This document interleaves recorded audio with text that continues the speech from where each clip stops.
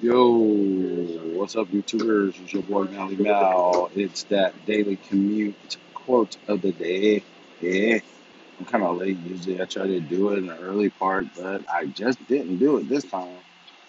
Yeah, we're gonna talk about what you keep in your closet. Ah, all the secrets that you keep in your closet. How much can your closet hold?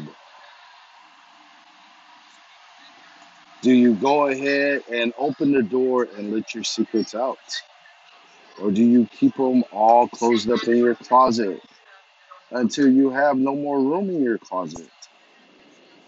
Usually, my mom would always say, Boy, it's time for some spring cleaning in your room, which pretty means that all the crap you have in your closet, it's time for you to pull out and get rid of. So, just that thought, you know, what you hide just clutters more and more and more, and sometimes you just gotta let it out. I'm done.